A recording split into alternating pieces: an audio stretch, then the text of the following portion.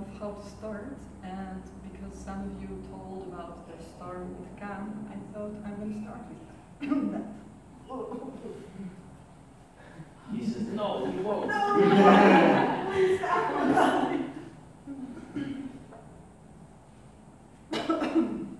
I really enjoyed about Khan is that he loved telling stories. So the first that we organized in Buenos Aires was that he gave like a free talk because many of my students were very interested in meeting him but couldn't afford the workshop.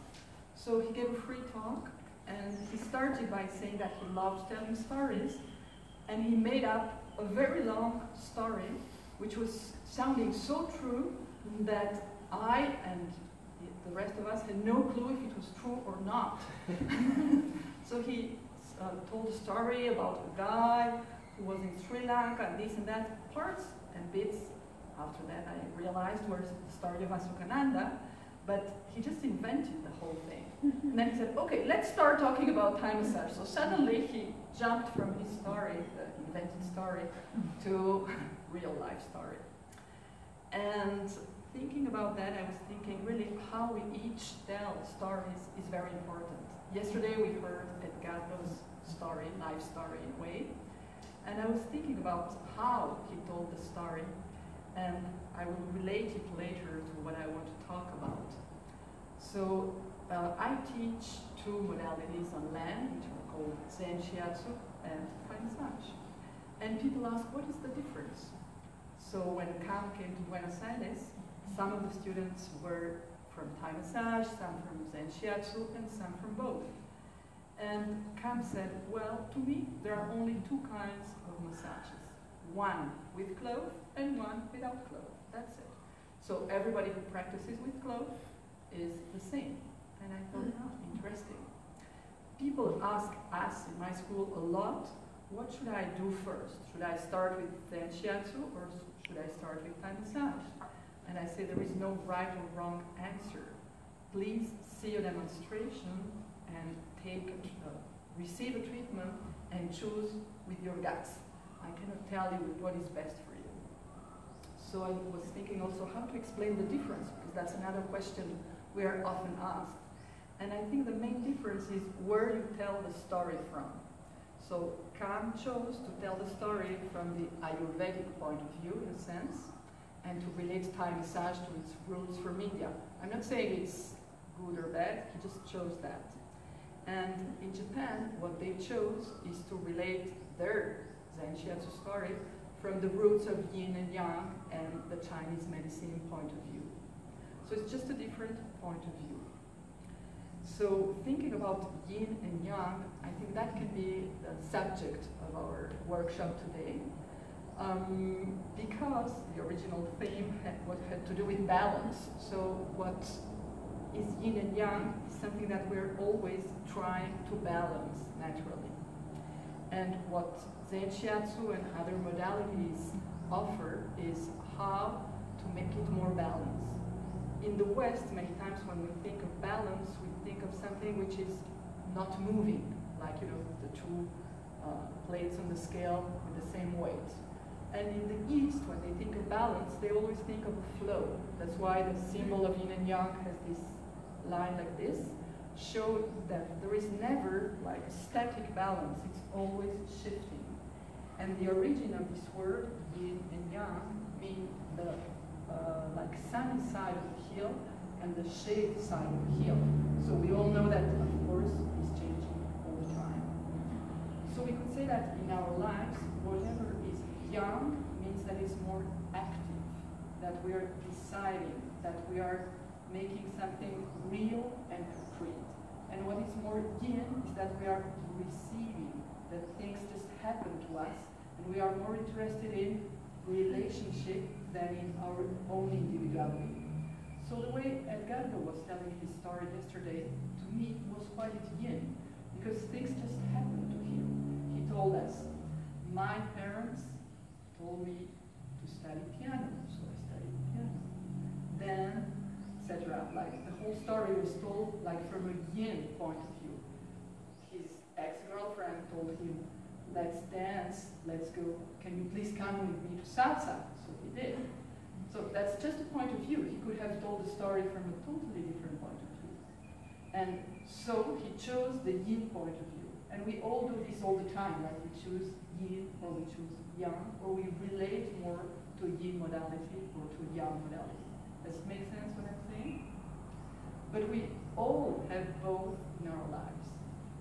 So whatever in our body is yin needs to be also yangized, and whatever is yang to be needs to be yinized. So in Japan, they use as archetypes the characters of the samurai as the extreme yang, and the geisha as the extreme yin. And what they say is we need to keep the samurai inside, where the, usually the yin is, because the yin is deeper, and to have the geisha outside, where usually the yang is, because the yang is more superficial. What does it mean? It means that if we manage to, in a way, uh, have a very strong core, but a very soft uh, outside, we will be more balanced than the opposite way around. So we have to work like the samurai, the yang tendency is to be extremely active and to be very assertive. So imagine how a samurai can become when he becomes too yang. I'm saying he, but it could be a machine. Okay? So warrior kind of. So what do you think would be the health issues that so-called samurai would face? What do you think? Tense. That's exactly. What else? ADD, ADHD, Mm-hmm. Anxiety, Mm-hmm. aggression. Aggression, violence, connection with people less. Exactly. I don't know about the ADHD. it's more like uh, when the person gets very obsessed by goals, like I just want to achieve that, and this is where my energy is concentrated. I just want that, no matter what it means to others or to other aspects of my life. That. I was thinking high energy, let me do everything. hmm Go here, there. So we'll see with the yin what happens. So the samurai has to master, in a way, his or her emotions and get softer and become more open, open to other people's needs, open to the to the environment, become like relaxed. While the geisha, the tendency of the geisha would be to be extremely receptive. When you are too receptive, then you are very susceptible to catch all the influences from the outside. We were talking with Patty yesterday, remember, about how to protect ourselves. So if we are extremely yin, we will feel that everything that happens around us is affecting us way too much for our own health and well-being. When we are very young, it's very difficult to make decisions because there are so many things. We're like, life is so beautiful.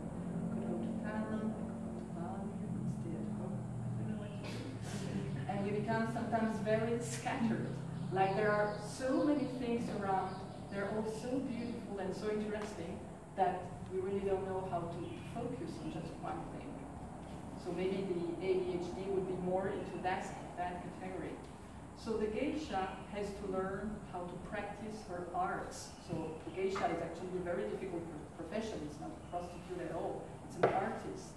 So she has to express all her sensitivity through art. She learns how to play music, how to sing, how to dance, to translate all this beautiful energy into art and be able to express her art. So she just doesn't only take, she can also give. Okay? So that would be the geisha task. So in us, it means that we are all a bit yang and a bit yin. So if the person gets very yin, What do we imagine that can happen in her life? And again, it can be a he or she. Pushover. What is pushover? Take advantage Hmm? of. Take advantage. Taken advantage of. Or feeling a victim. Yes. Maybe she's not even taking advantage of, but she feels that she is. When we are very tired as well, you know, like this exhaustion kind of symptoms, chronic fatigue, Depression? depression, yes, no, no energy. And needs other people to give her energy. It's always sometimes clients come to us and they say, you know my daughter, you know my son, you know my father, you know, like they never speak about themselves. They, they're so like uh, in connection with so many other people, where they cannot turn their phone off because maybe someone who needs them is going to call. So that's more of a yin condition because this person is too outside of herself. but we all know people like that. So the idea is that each of us is constantly shifting from yin to yang, and both exist in our bodies and in our energy. So at night we need to be more yin to be in order to be able to sleep. During daytime we need to be more yang in order to be active. So for people who sleep, for example, uh, during daytime because they have uh, to work at night, this whole thing becomes like not natural and switched, and it's very difficult to be healthy when you have to go against the laws of nature, let's say. So one of these laws of nature is that at night we all have different needs, biorhythms, etc. But mainly we need to rest and recover. And at daytime, mainly we need to be able to be active. So that's how it works. And what we will do now is see how we can experience the yin and the yang in our bodies. So you know about the existence of the meridians, which are like the same line, but seen from a Chinese medicine perspective. Um, before I go into that, let's say that the same as Thai massage, shiatsu is like something that is belongs to a country, which is Japan, but was looking for roots. And the roots are maybe not Chinese, but Chinese medicine was introduced in Japan together with Buddhism, together with writing, many, many years ago. So there was originally probably a manual therapy in Japan which already existed, but it was unrelated to the theory of Chinese medicine. And slowly it was blended together. Then in the 20th century, when Japan was kind of forced to be a little more open to the outside world, the Japanese mainly chose to relate shiatsu to Western medicine to be able to have a dialogue with the medical body. So there is a lot of shiatsu in Japan which is unrelated to meridians, where they talk rather about anatomy, physiology, symptoms, and so on. And then this guy called Masunaga, who lived in the 20th century, who died very young at the age of 50, 50 something. Uh, he died around year 70, like 1970, I think. And this guy was a Western psychologist, the son of two shiatsu therapists, and a shiatsu therapist himself, and a scholar. Researched the Chinese medicine roots of shiatsu, and he connected all the knowledge about the meridians with the hand-on works and with psychology, Western psychology. So this is why Zen Shiatsu is so interesting, because it takes like from different, it looks for the roots, going back to those roots, and it also takes from the point of view of Western psychology. What was his name? Masunaga, Masunaga. yeah, Masunaga, it's a whole last name, Masunaga. yeah, Masunaga, Shizuto Masunaga. So- Yeah, that guy, uh, he decided to name, because there were many schools of shiatsu in Japan, to name his shiatsu Keiraku shiatsu, which means meridians shiatsu, because some other shiatsu school had totally let go of the meridians. But then another guy who is called Ohashi, who is still alive and lives in the United States, uh, moved to the United States after being the student of Masunaga and realized that the Western world had a lot to learn about shiatsu. So he said to Masunaga, why don't you come and teach? But let's invent a more catchy name because Meridian Shiatsu is like, who, who knows if it's interesting? So what is fashionable nowadays? That was like the years when the hippie revolution was taking place. So let's call it Zen Shiatsu because you know Zen, really cool. So the story was told by Ohashi himself, so that's how I know it. I know Ohashi personally. So Ohashi invited Masunaga to the United States, and Zen Shiatsu became quite big in the West compared to the Japanese form of Shiatsu, which is, it's very funny, much more influenced by the Western way of seeing anatomy and physiology.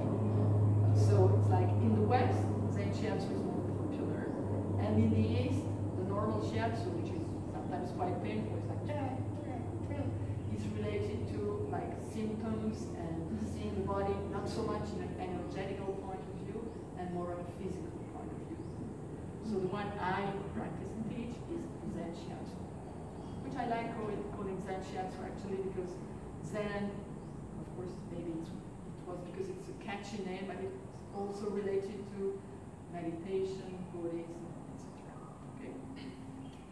So I want to explain to you briefly the meridians, and then we'll do something for our own meridians to discover the yin and yang feelings. So if we imagine that the yin energy comes from the, the earth, it goes from the feet through the inner part of the legs, through the front of the body, through the inner part of the arms, all the way to the fingertips. So all yin meridians have this energy which goes up. You see that in Thai massage we usually go up, down, up, down. While in Shiatsu we usually follow one direction. So for everything which is yin, we will follow the upper direction, thinking that it's earth energy going to the universe. So what distinguishes the yin part from the yang part? So if we feel the skin here, it's softer than the skin on this side. The type of muscles that we have on the yin side of the body is not as strong as the muscle that we have on the yang side of the body. This is, of course, much softer and less protected than this.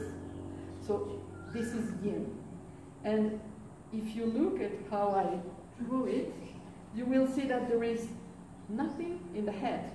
So yin is more connected to the chest and to feeling this openness, this sensitivity, which comes more from the heart. If you look at me like this, the yang energy is coming from heaven, going through the hands, along the yang side or the outer side of my arms, to my head, places, my face and head, and then down the back, the back of the legs, all the way to the feet. So it's like the energy of the universe, which I and each of us embodies and has to manifest in a way, being more concrete, creative, and assertive. Like I'm here. This is like the yang. Okay? Does it make sense? So when we work on the yang parts of the body in shiatsu, we usually go with the flow of the energy, going in that sense, and moving the energy down to the earth. Okay? So there are many possibilities. It's not like we always work like this, but we have to uh, take this into account. And if we go the other way around, we know why we do that. So this is already one big difference between Thai massage and shiatsu point of view. Instead of going up, down, up, down, we always go in one direction. Okay? So I invite you just to stand up, maybe kick our cushions just a little further. To open your legs more or less like the width of your shoulders. Close your eyes. Slightly flex your knees and feel the density and the weight of your body. You can imagine that we're standing on the beach and our feet are getting just a little deeper into the sand.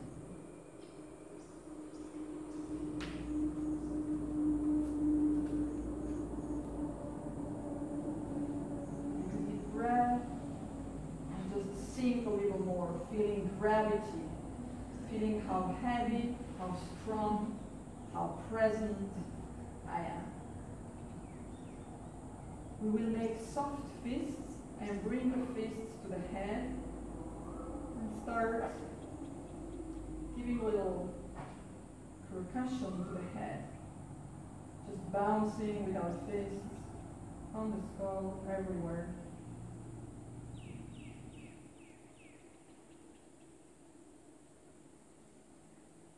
On the back of the head, behind the ears, on the forehead.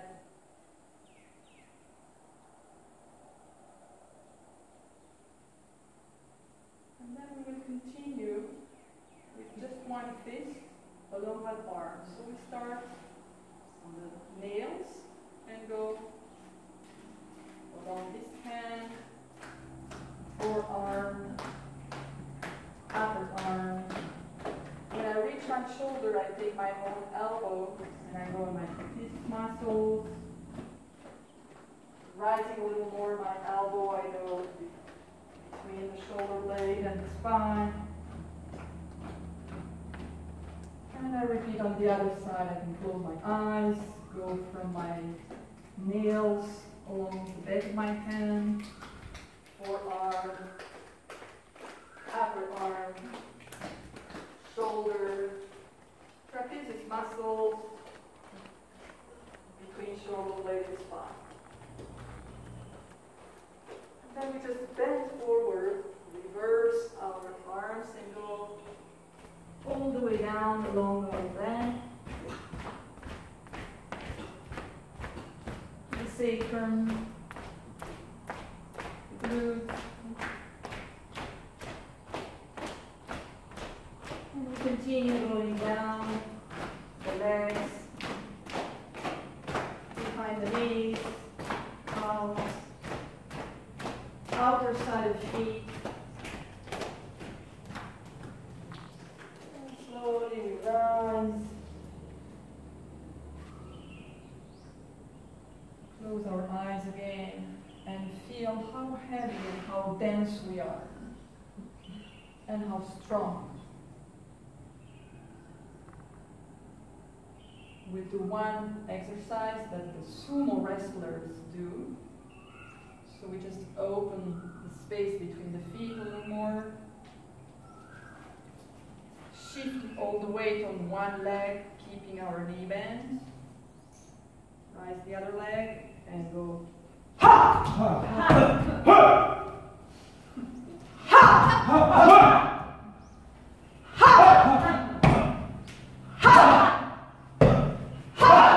You're slow.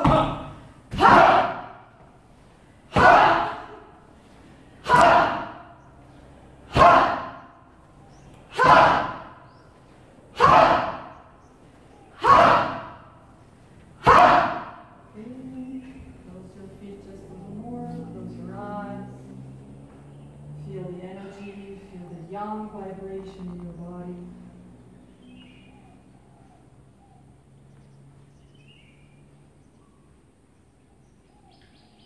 And just observing how you feel. See this energy is part of your life usually. If you use it purposely, it's familiar, if it's available when we need it. Energy of assertiveness, the energy of action.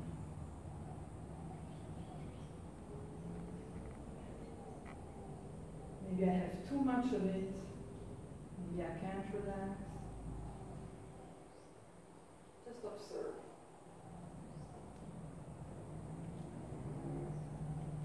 We bring the hands below the navel. In Japanese, this is called the hara. And in this center, we can find balance. So we just breathe in our hara, relaxing the muscles, going back to a more balanced state, letting go of this very yang energy.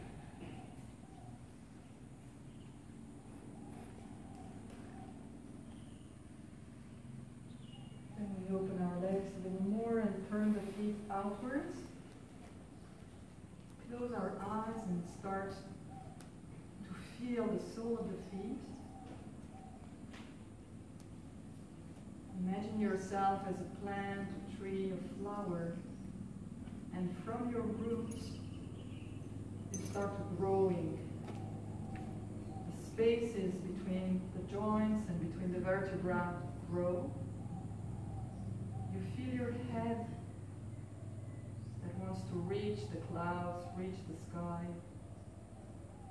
Feeling suddenly much taller. We will turn our hands outwards and feel this openness. We feel the front of our body, the inner side.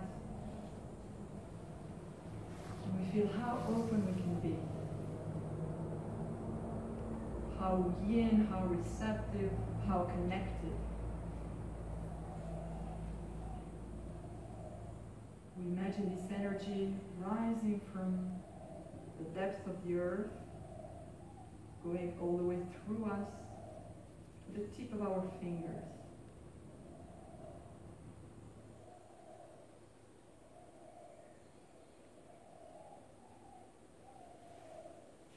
We will do front bend, make the fists again, and start at the inner side of our feet.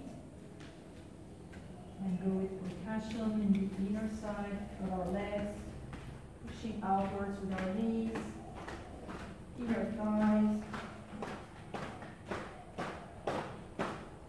Hara. And using just one fist, I go up the center line to my chest with my palm facing forward, I go along my arm, the inner side of my arm, all the way to my palm, and to the tip of my finger. Then we change fists, go from above the hara, middle line to the chest, with my palm looking forward, I go along the inner side of my arm, forearm, palm, and fingers. And I just relax my arms, keep my hands slightly turned outwards, my front very open, and feel my own lightness. I imagine that I can kind of melt into the universe. I'm so open. I can feel this yin energy connected.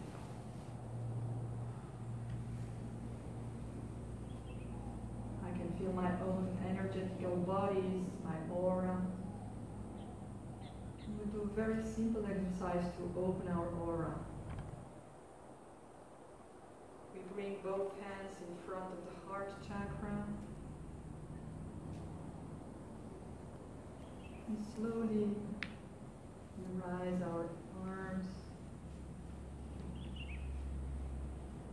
And we turn the palms upward. And very slowly we open them sideways. Imagine that we are opening a huge space around ourselves, full of light, That makes us even more open. Once the hands are down, just drawing them outwards again and feel this space around us. Imagine that we are so light that we could fly.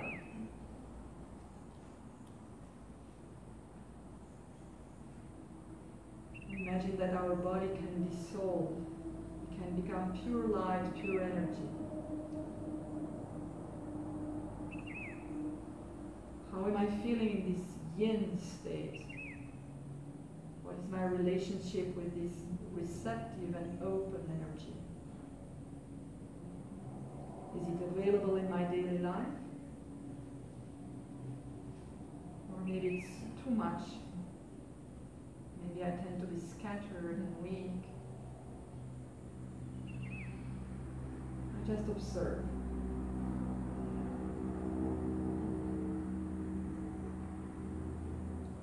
We go back to parallel feet, bring the hands to the hara.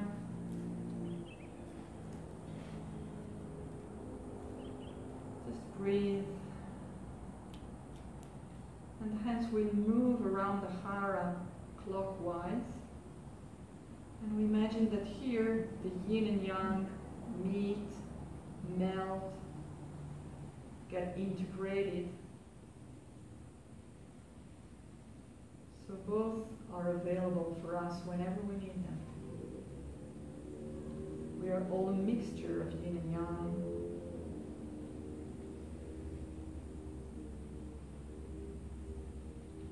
And we can keep one hand right below the navel, and with the back of the other hand we go to our sacrum, and just feel the space between the hands.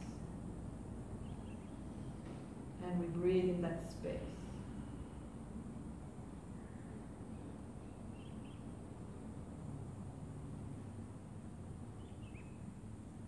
What does balance mean to me? What do I need in order to reach a better balance between my yin and my yang?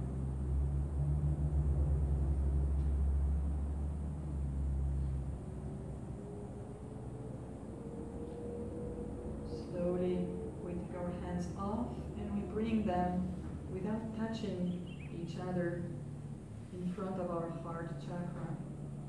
Just close enough so that we can feel one hand with the other, even though they're not touching. We imagine that we start breathing through our hands. And we feel the space between the two hands.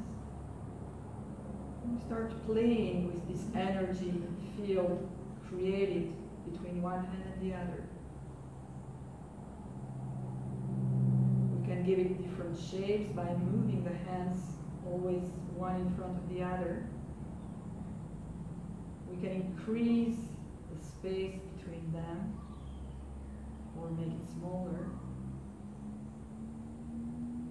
We see how far we can take one hand from the other and still feel the connection. Feel the energy field between them.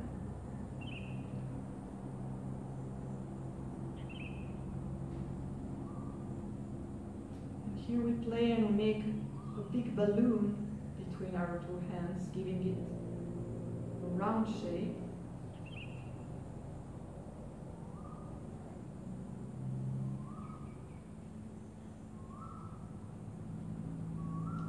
We hold this energy balloon, size that is comfortable for each of us. It can be a small ball or it can be quite a large balloon.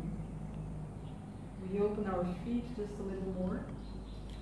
And we draw the sign of infinite, like an eight, in front of us, holding our energy balloon. Imagine that the movements come from the hara, the dantian. And just move your balloon in an eight or infinite sign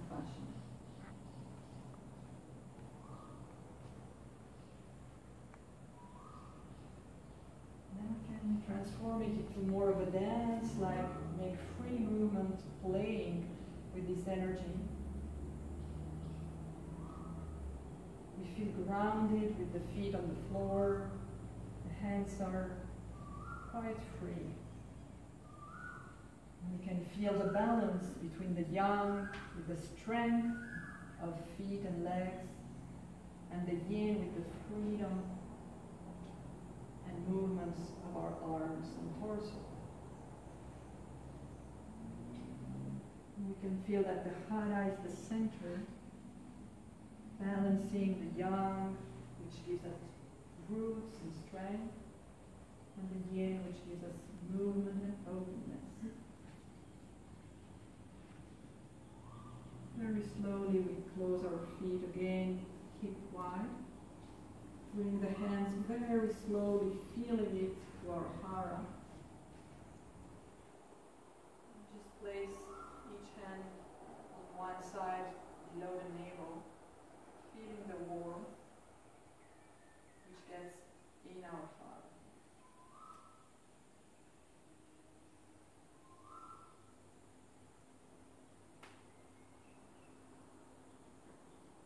We take a deep breath and slowly open our eyes. Just find and share very briefly if you could feel these yin and yang energies and what it was like for you and what you think about your own life. Is it too yin, too yang, or very balanced?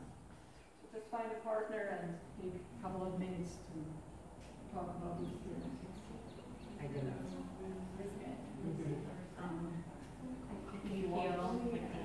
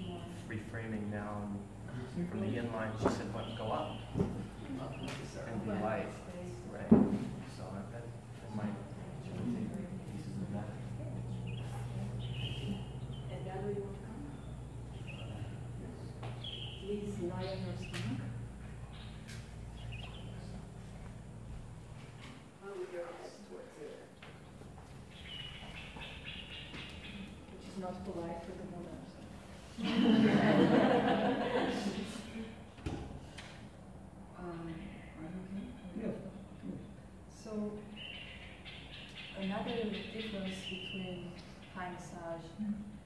Thank you. And shiatsu is that we usually start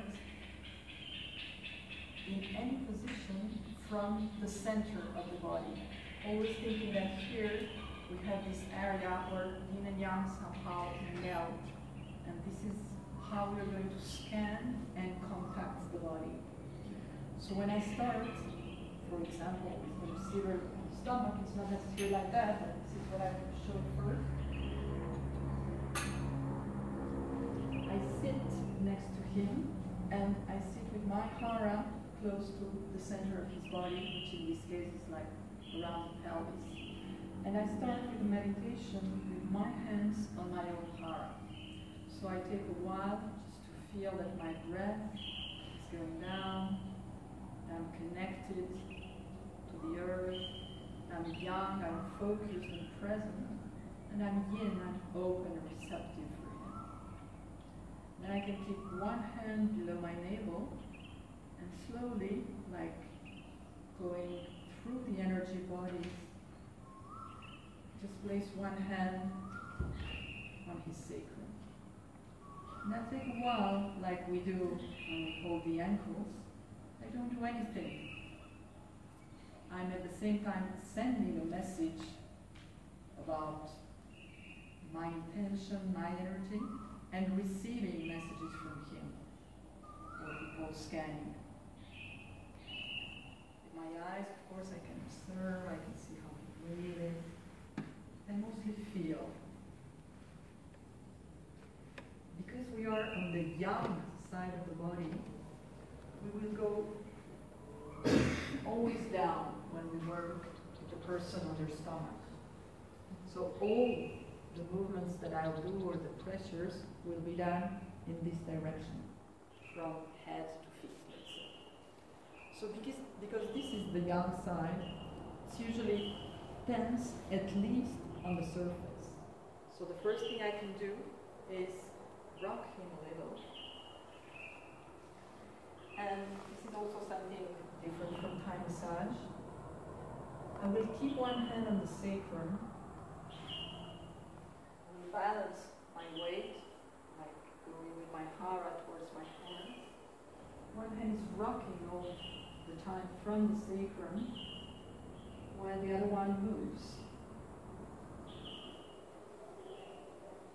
I can do it on the other side of the spine.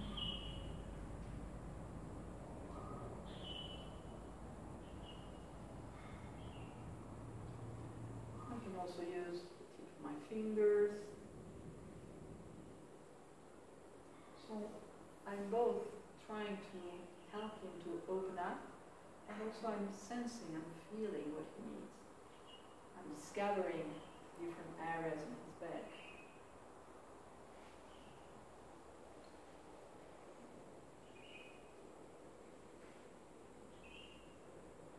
So I have a question.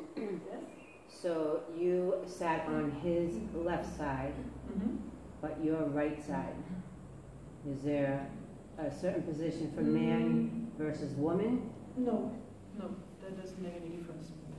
So this hand, which is rocking him, will now, I will switch it to my other hand, and I still keep the rhythm of rocking, and I rock down his legs.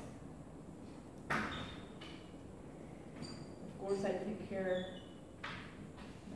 not to press below his knee, his knee. So just go down and then I can slowly stop the rocking. So here, if we think about the yin and yang balance, we can say that this hand is going to be the yin hand and this hand the yang hand. So I go with my weight. First the hara goes to the yin hand as if I were pointing towards this hand with my navel and then to the yang hand and I balance my weight on both and I wait until I feel that they are connected. Same thing that you felt when you were playing with your energy balloon. We're trying to feel it now through the body of the receiver. Then I slowly go away with my yang hand, but I keep the same weight on my yin hand. So if we talked about, I don't know, pounds, kilos, but just uh, like imaginary numbers. Let's say I have five kilos here. Now I have seven and two. And I add five more here. So I have seven on both. And I go till I have ten on both hands. And when I go out, I stay a little to feel this connection between the hands.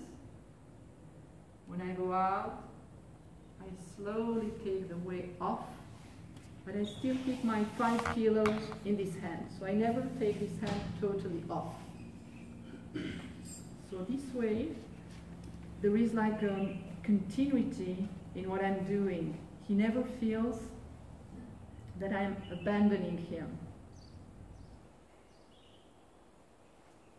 If I feel that the person has to breathe in and I have too much pressure on them, of course I can release a little. So you will feel that in some places you have to wait a little longer in order to feel this connection between the hands.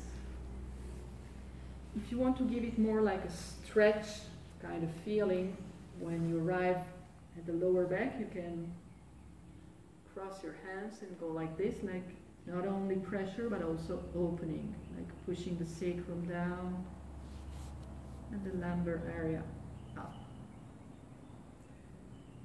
Then I do it on the second side. So I take a little more distance here. I basically work on all four. Find my balance. So my palms or my, my left palm in this case, is covering at least two lines here. And the fingers are on the other side of the spine, but the weight is not in the fingers, of course. So you work only from one side or do you switch sides? No, you could perfectly switch side. I'm just showing this because it's easier, but if it's more comfortable for you, No, I was just asking because Mm. the pressure now on the closest side of the spine to you and the opposite side of the spine compared to you is, is different, right? is different, but in this case we're trying to give a kind of pressure which has a 90 degrees angle, so it doesn't make much of a difference. If it were a pressure that were more like this, then yes, it would make a big difference. But if it's a pressure where you really go with your arms straight and your weight just down, then it doesn't make a big difference. Does it make sense? Mm-hmm.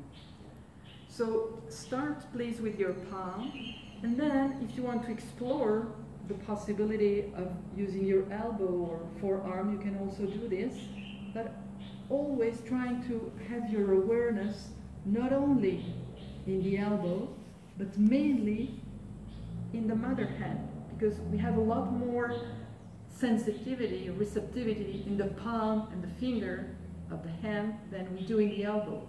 So instead of focusing on the pressure in my elbow, my awareness go to, goes to this hand so I can really feel what is happening through my lower hand.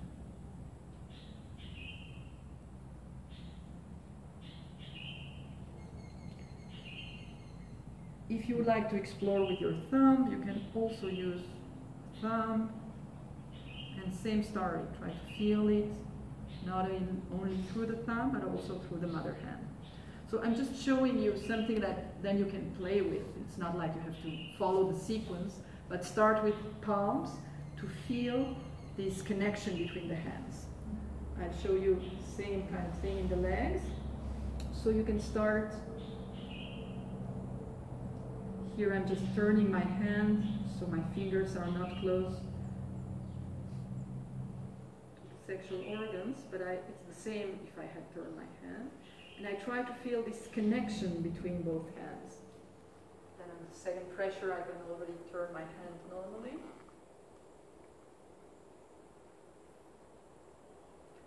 So this mother hand, it's called like this, yin hand, gives a sensation of continuity.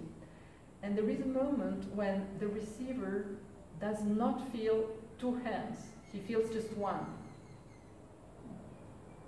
So I also invite you to check verbally with your receiver. So now Edgardo, I will ask you to be present. You feel two different hands? You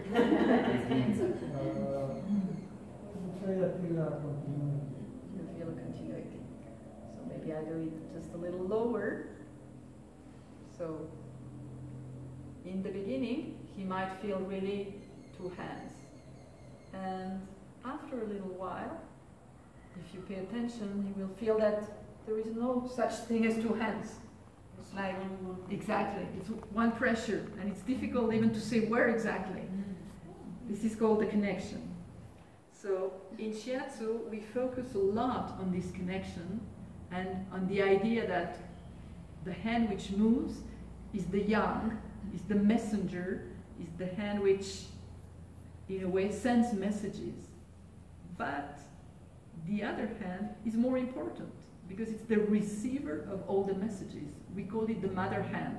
So imagine in the family, the mother is like the central figure, like the one who receives all the messages and gathers everybody. If we wanted to explore, like using, for example, the knee, I can flex his leg, can use the leg that is more comfortable for me, and same thing. I focus on my mother hand.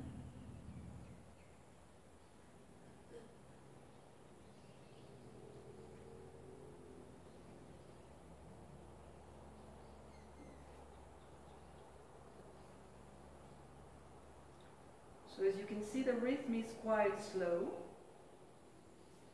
because I'm like always waiting to get this sensation of a connection. So I take my time.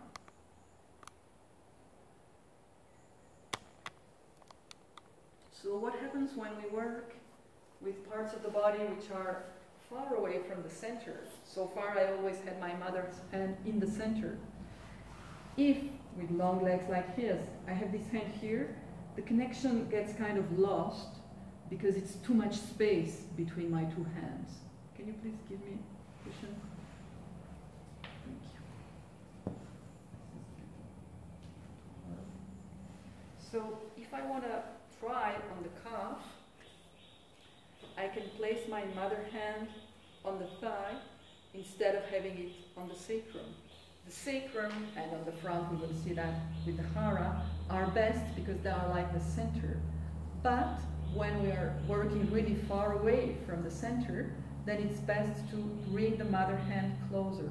Not too close to the joint, let's say in the middle of the thigh. And when I'm working on the calf, knowing that the calf is more sensitive, I find a balance, but my weight is actually heavier on my left hand, my mother hand, than on my right hand. But he should feel the same amount of pressure. So if I translate it into kilos or pounds, I can say I still have my five pounds here, then I have seven, and here I have two, four, five, and I stay here. I don't go to seven and seven. Does it make sense? And the receiver can feel the same amount of pressure between one and the other.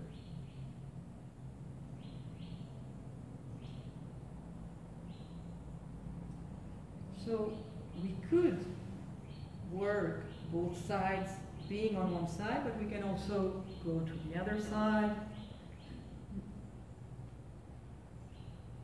Find a way to do transition.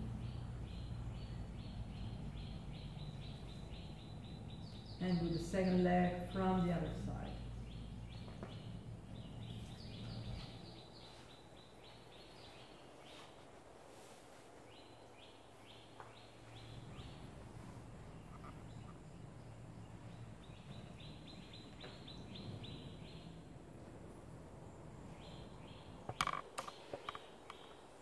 etc. I just want you to experience the kind of pressure and to be aware of this possible connection between the hands.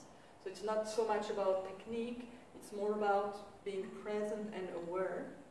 And also the posture, you see that I use this foot like this, um, knees quite far away from the body posture, so I can really open my back.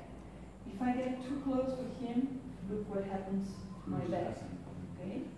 If the person really needs a lot of pressure, what I can do bring my knees a little further away and still keeping this 90 degrees angle, drop my hara. This way there is more pressure. So I'm not doing anything with my muscles, I'm just playing with my center of gravity to increase the amount of pressure. So if the receiver is a very strong person and wants more, instead of pushing to get more, just drop your hara and that gives it a lot more pressure. Okay? If you're too far away, then the tendency is this. If you're too close, tendency is this. So find your own, we call this a territory like. With my size, this is my territory. If I were smaller, of course I would be a little closer. If I were larger and longer, I would go just a little further. And another thing maybe you noticed, I never totally lift up my hands from his body. There is always contact.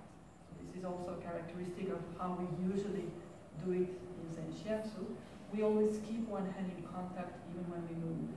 So when I'm done, I'm still in contact with his sacrum. I just stay here a little, observe again, bring my hand hara. And when I lift my hand up, I'll do it as slowly as I did when I came in. It's like feeling these energy bodies that we cross. And I go back to my own center. Of course, you can always add them. In Japanese, they call it gasho, is salutation. And do you work the arms? Well, I think we will do them when we are lying on our back. Of course, there are lots of more. I mean, shiatsu is very big. It's like Thai massage. There are hundreds of techniques. I just want us to experience now the back and the back of the legs. So I have a question. Yes. If you know that their yang energy needs to be lifted, Mm-hmm. would you start on one side versus the other side? Like, would you start, so say they're very yin and they need to become more yang, We just start on the yang side to amp up the energy for them? That's a very good question, and I think there is not one single answer that could uh, like um, cover all the cases. Um, but many times, when the yin energy is too much, it's better to start on the front and not on the back, and then we'll see how we do it. For example, if it, the person is very scattered, we will bring everything to the center so you can work along the inner side of the legs towards the center and you can even work on the inner side of the arms towards the center as if you wanted to help this person to find her center again. Other way around, if the person is really like tight and has no openness, we could start from here and do everything, no matter if it's yin or yang, towards the extremities. So we can also use that criteria, not only the yin going up and the yang going down criteria. Mm-hmm. So imagine the case that you're talking about. My first feeling would be on her back and you know bring Okay. everything towards the center. So would you like to comment anything about what you felt?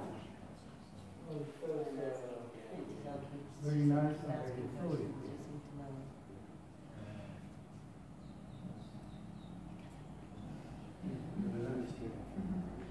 So in a way, what I what I thought when I was thinking about this workshop is that we have lots of great teachers here, like Edgardo, like Kenneth, who are offering many techniques. And I thought, of course, I could add lots of techniques for mm-hmm. you guys, mm-hmm. but it's too much at some point. So I think it's better that, with me at least in this class, we focus on shifting our awareness to this connection between the hands, the idea of yin and yang, mm-hmm. and not adding and adding many techniques. So that was my idea. Good one. Okay? Great. So please find a partner and just explore. I will kind of guide, but it's mainly an exploration that you can do on your own.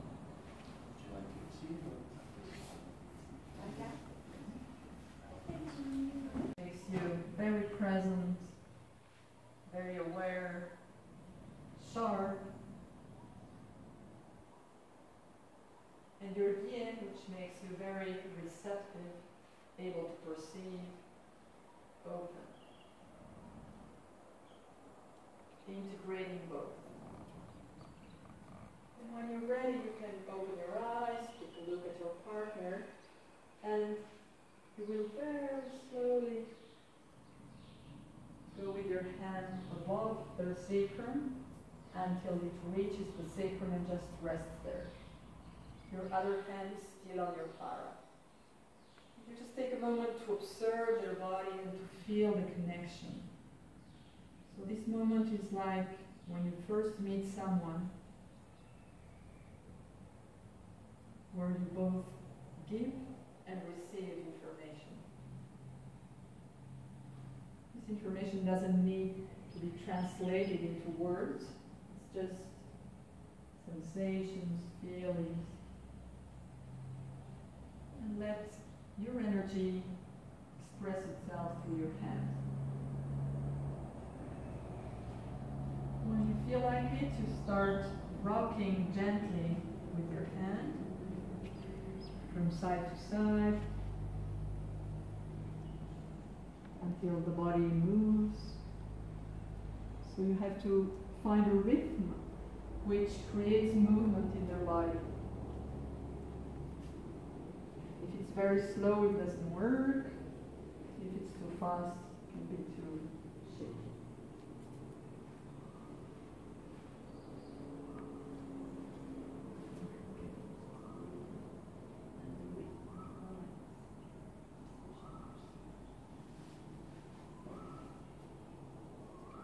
Once you see that the body gets got into movement, still keeping the rocking, you can turn facing their back. Keeping the rocking, you will find the right distance between your knees and their back. You can touch their back to know where the spine is. And you will place your hand on the other side of the spine. Keep a position with high hips, like on all four. And rock with both hands. So this is just to make the yang a little softer and to get to know their back. So one hand is on the sacrum and the other hand goes all the way along the spine, going down. When you want to add pressure, you just bring your navel closer to your hands, your hara closer to your hands. This is enough to add pressure. Still keeping one hand on the sacrum, you can do it on one side of the spine, then on the other side.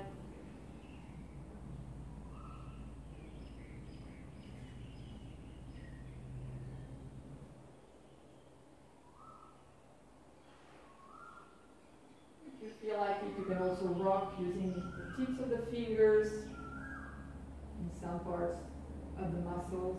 Maybe it's better than the hand. Just feel and play.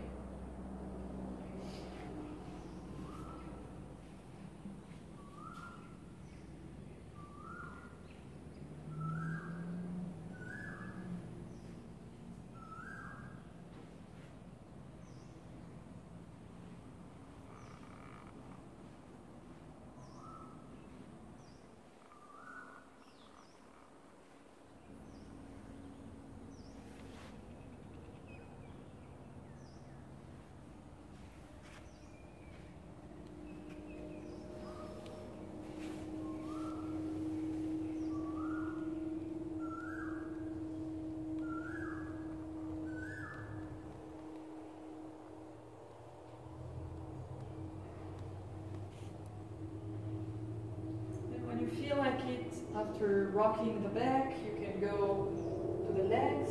So keeping the contact, I just switch hands, place my other hand on her sacrum, face the legs with my hara, and go all the way down. Whenever I reach one foot, I start in the upper leg again and go down.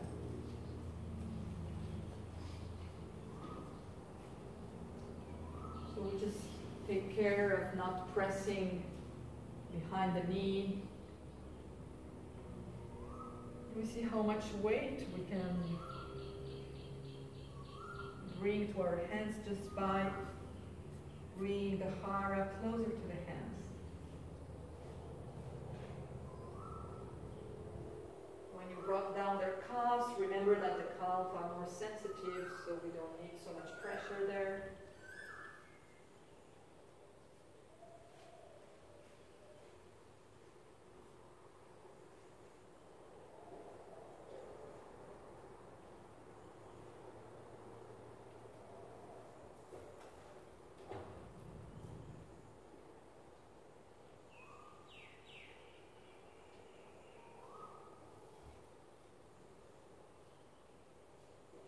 We rock one leg, we rock the other leg.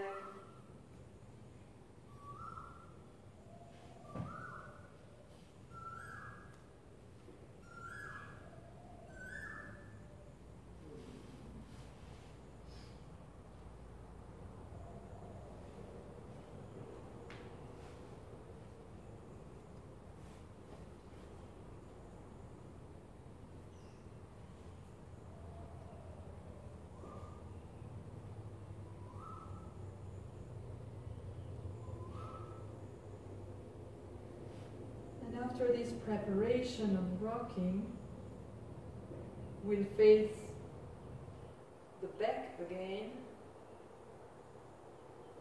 Let the rocking fade until it stops. And we will get into leaning on the body and finding the balance and the connection between both hands. So you just slowly finish your rocking. Switch hands again, so the lower hands is on the sacrum. Find the right distance between your knees and your partner's back. And starting in the upper back, avoiding just the uppermost part which is too close to the cervical. Starting, let's say, at the number T4 or so, T5.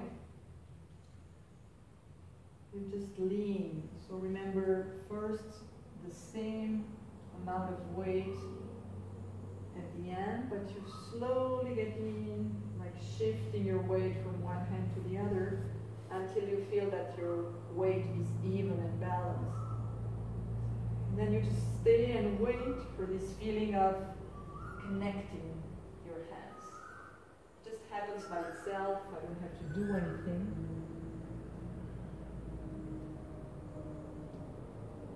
And when I decide to lift my hand off, I will still keep some weight on my lower hand, the yin hand or mother hand, which gives continuity. We always go down. If the person needs to breathe in and I have my full pressure on them, I release a little so they can breathe in.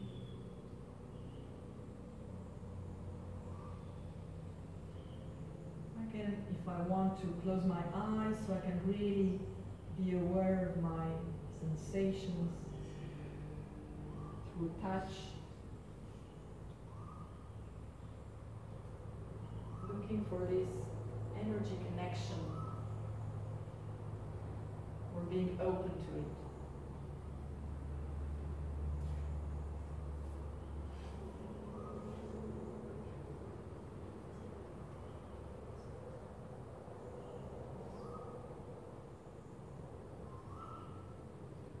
When you reach the lowest part of the lower back, you can also cross your hands and give more of a stretch-like feeling, like pushing the sacrum down and the lower back up.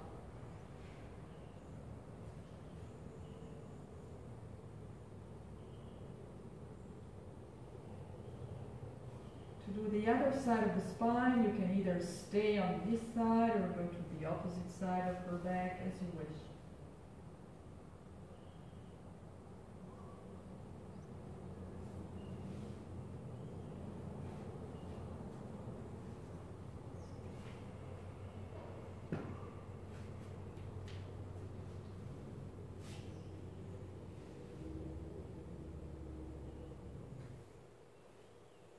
So to do this second side, I find the right distance between my knees and her back.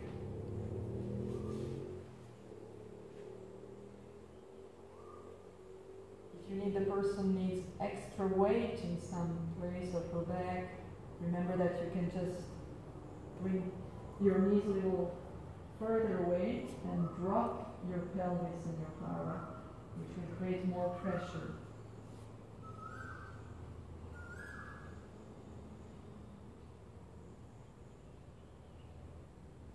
My hands are totally relaxed, they don't really do anything.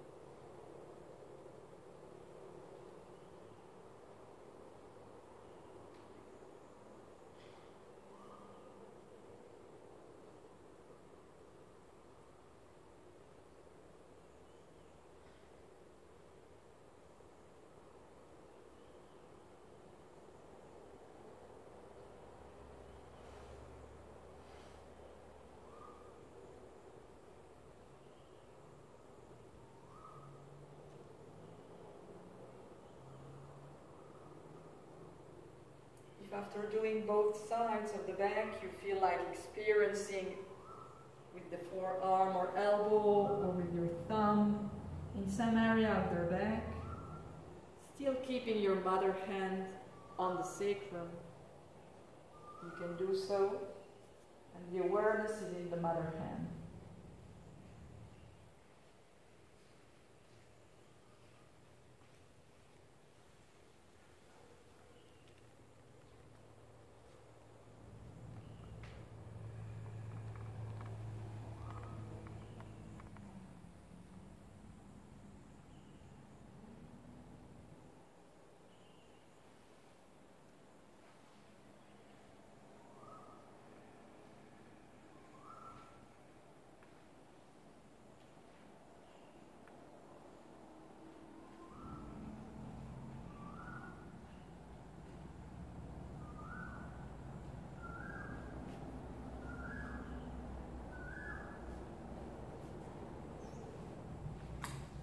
So choose some spot in her back that you would like to experience with elbow pressure, thumb pressure, and my awareness is in my mother hand so I can feel the resonance in my hand.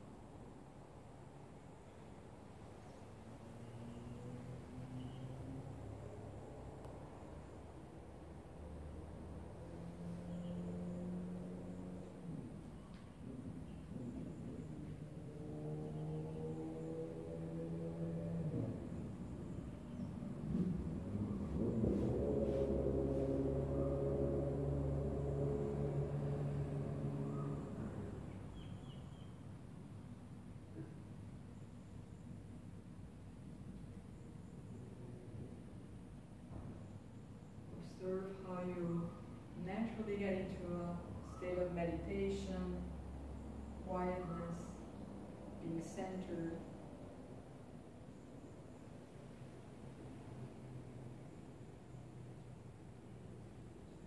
And when you feel like it, you start working on the legs. You just switch the hand on the sacrum, face the legs with your hara. Be careful not to press too close to the knee cap.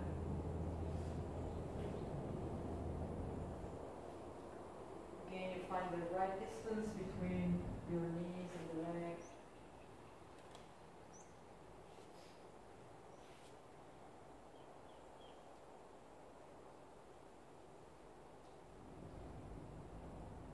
Because you're working with the other hand on the sacrum, develop with this hand as well, this capacity to be the yin hand, the receiving hand, the mother hand, which receives all the messages.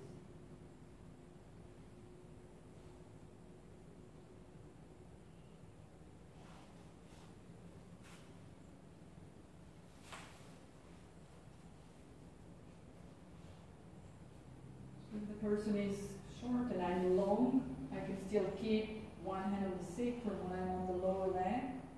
But if it's too much of space between both my hands, then I just go with one hand on the thigh and the other one on the calf.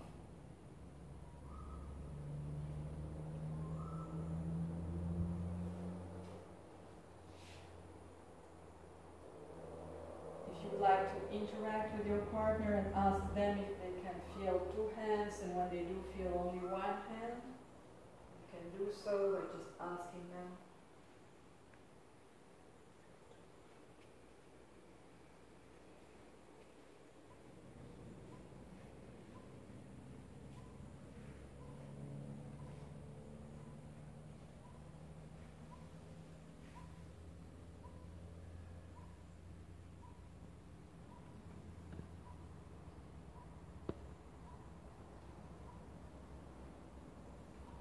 For the second leg, you can either work on it from this side or go to the other side and do it from the other side. You can also experience with thumb or even leg pressure as I did by folding their knee 90 degrees and just using one of your legs. Still with one hand on the sacrum.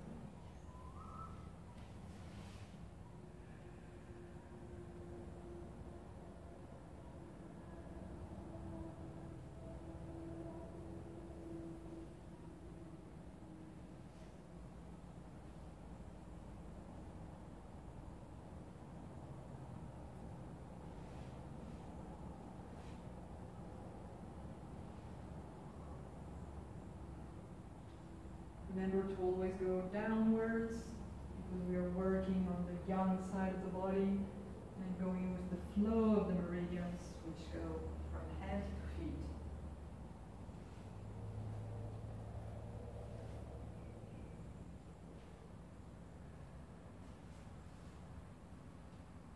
Slowly after finishing the second leg, we will go back to the center and finish as we started with one hand on the sacrum, the other hand on our pada, parallel to them, looking in the same direction as the receiver, and taking some time for this last contact.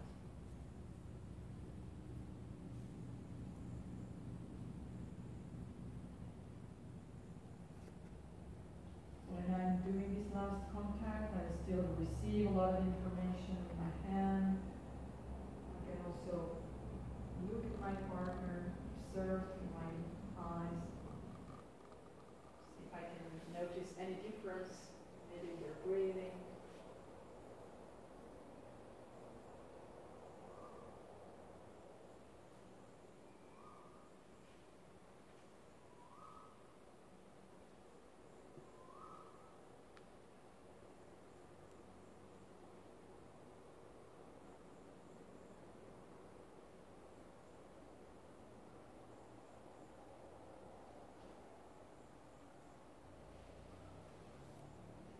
And when I decide to lift up my hand from her sacrum, I do it with a lot of awareness, very slowly,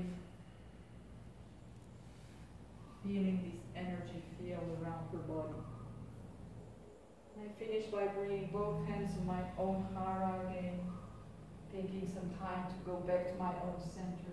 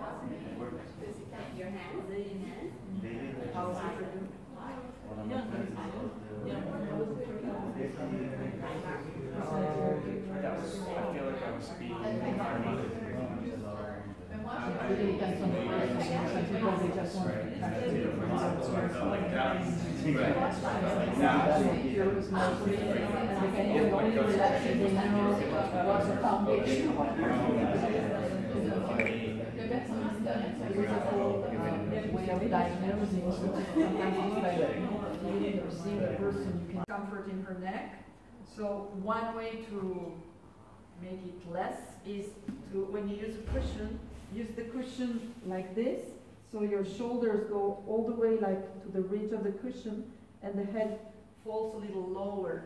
It's better than having the cushion here, because what we're doing is by raising the shoulders, allowing the neck to rest a little more. While if you have the cushion here, it's doing this, and then it's too much for your neck. Yeah. And feel free to move your arms at some point and to turn your head. Don't stay so long with your head just on one side. Okay? So when you're ready, please switch. You can lift you off the though. So let's have a five minutes. Um, okay, so she has her arms here, That's okay. The way she is more comfortable with. but it- it's, um, No, it won't prevent you to do anything because anyway we work with a certain distance, so that's Okay, okay. okay. Yeah. So arms the way which is better for you, and you can change them when you feel like it. So we're sitting next to them, and our hara is aligned with their sacrum. And first we just take a while for ourselves with our hands on our own hara. Just breathing and getting in touch with the feeling of our own integration between our yang energy, which allows us to be very present, very precise, and with our yin energy, which allows us to be very receptive and intuitive.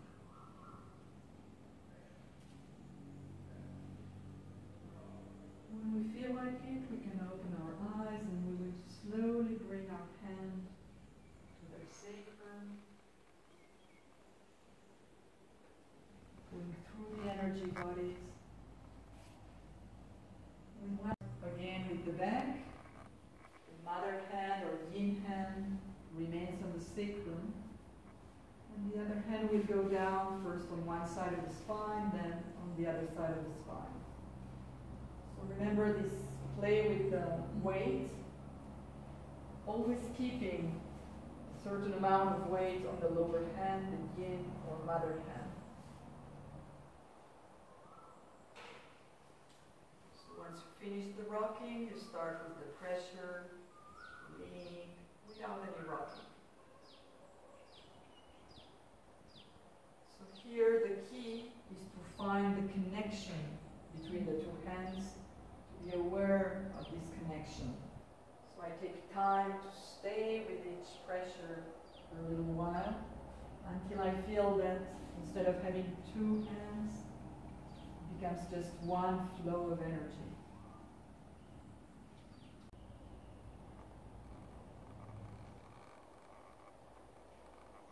And after exploring this work with palms, you can add, if you feel like it, either thumb or elbow or forearm pressure, still keeping one hand on the sacrum as the mother hand and trying to feel the resonance of the pressure from your elbow or thumb into your mother hand. Just choose whatever part.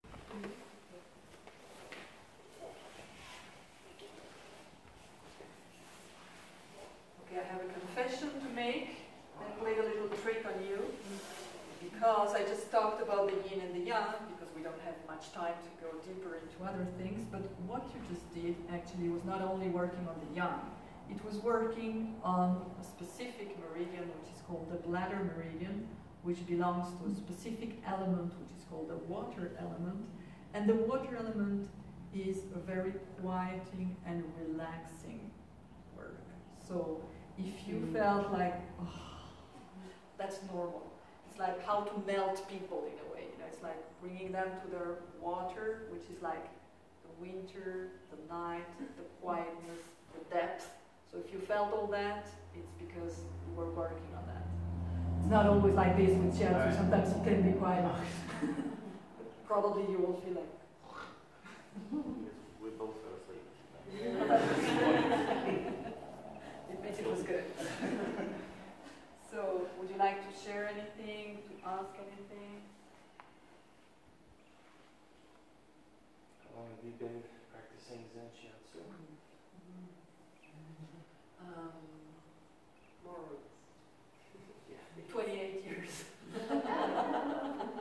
It's almost like our expert in Thai massage. We have one with Zen Shiatsu and others. Thank you for sharing. Welcome. The class is not finished then. And how often do you mix it in with your Thai yoga massage moves? Ah, that's one. Um, when I have a client, a new client comes to me and they don't come with a specific request, I want a yoga massage, I want shiatsu. Um, I usually sense them, and sometimes my mind says, I will do this, and then my hands do something different. So I follow my hands. Uh, some sessions I feel I mix them a lot, and some other are really pure style, one thing or the other thing. So when I teach, I totally separate because I think that it's good to have like a clear um, conceptual frame. But when I work and when the people around me who study both work, we many times we take elements. So in my school, you have like two different, we careers, shiatsu and Thai. And then we have seminars, like for example, uh, Thai yoga massage stretching uh, in a shiatsu session. Because for some meridians, then such and such, you know, the Thai yoga massage is so rich in different stretches, how to implement. And like we share now, we can also use some of the shiatsu ideas to bring into our Thai massage sessions. So I think they can only enrich each other. Um, usually there is like prejudice. In Argentina, Buenos Aires, there are two main soccer teams, you know, it's Boca and River. So you're either from Boca or from River. So I always tell my students, don't play the Boca River with Thai and Shiatsu because I find out that many people are against the other one, the general world, and they're very surprised when I, they, I say I do both. Because then the Shiatsu people, they have a huge prejudice about anything which uses the word massage. They, we don't do massage, we do therapy. And then the Thai massage people, they say, oh no, Shiatsu, you have to study a lot. No, no, no, no, I'm going to have a headache just to think about it. I no. I mean, it's also feeling work. So I don't think the two should be opposed, not at all. But as all of us, we can explore uh, many things, and I decided to explore these two things. And of course I bring them together in my practice. So when you mix the two and you're thinking about Ayurvedic marma energy lines, and then you're thinking meridians, and we know that at some point they do intersect. Your intention is what? Is it more on one or the other, or kind of the same at the same time when they intersect? Mm, I think to have clear intention is better. So usually I have clear intention of one or the other, and then like you know, when he was teaching yesterday, I said, oh, point the one in the middle of the scapula. I don't remember its name in Marma point is uh, small intestine 11, which is a very important point in the meridian system. So it's like, oh, oh here they intersect totally. But um, I feel that it's like different layers, like the sen line and the meridians are not the same energy feeling. It's different. It's as if they belong to different energy bodies, and also in the physical body, I, I perceive them differently. So I think the sen line, I can feel them more along the tendons, especially you know when we work like the Jack Chaya kind of style, you really feel like this tendon thing. Mm-hmm. And the meridians, it's really this connecting hand kind of feeling. So it's more uh, superficial, or is it deeper? No, it's different. It's I can't say it's more superficial or deeper. It's just a different feeling. doing, you're, you're able to talk to the body in different ways using different lines. Yeah. It's as if we said, okay, um, if I, I don't speak in Chinese, but each Chinese is different from English. Of course, it is totally different, but you can still communicate. So it's just different. So, could you feel the connection between your hands? I think it requires some refinement and practice and just kind of tuning to it. But I think I felt it a lot when, I, when we were doing the movement stuff. Learning to feel it through somebody else. For me personally, I was, was trying to bring a meditative state into it, and it was uh, blockages in my body were the cause of distraction for me to, to lose the attention of Caroline. Mm-hmm. So I think again with, with practice and with movement, it, it, I'll I'll I'll tune to it better. Okay, great. Mm-hmm. Anyone else?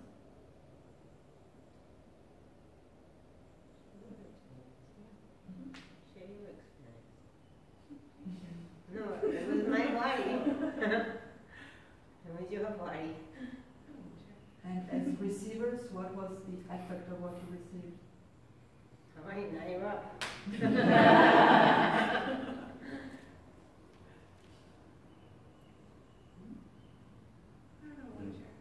Very good. Stay on your Sleepiness. sleepiness. What else? connection between the two hands. I can feel at some point, like when she's leaning in to try and calibrate her weight to make it the same on both hands, I could feel the connection. But then, like when she's rocking, no, I kind of lost it. But once she's like balanced on both of them, yeah, you can feel connection between both hands. Aligned. Yeah, that's exactly what we are looking for. It's like, uh, therefore, it has to be like steady pressure, and it takes some time. Uh, this is something new for the people from Thai massage because it's, it's a different approach. And you're, Yeah, well, exactly. yeah, you're trying to be more stable, more in equilibrium. Yes, exactly.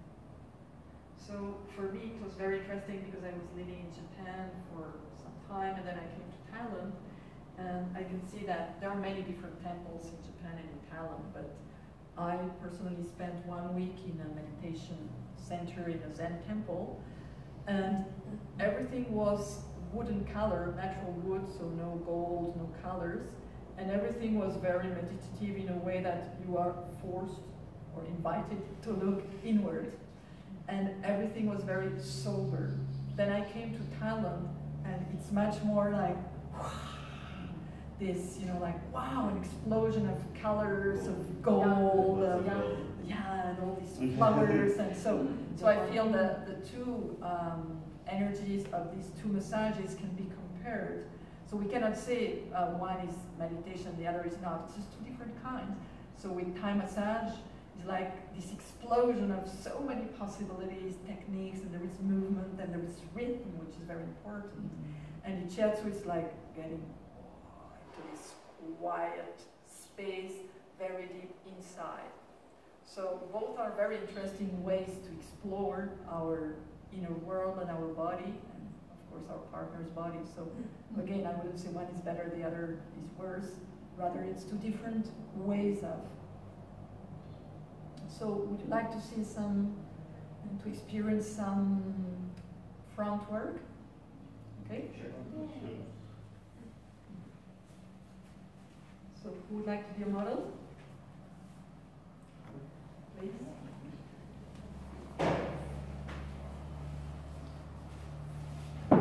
Yes, please.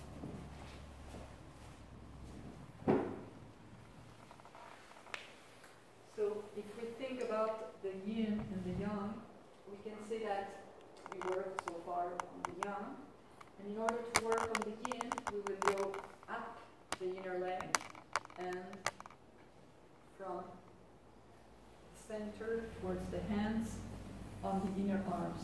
Remember when you think about the energy lines called meridians, that you have to imagine the person with their arms like this.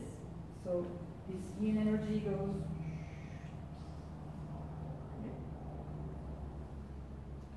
So when we work on the front, we start as we did when working on the back, with my hip more or less level with his hip. So I just take a moment.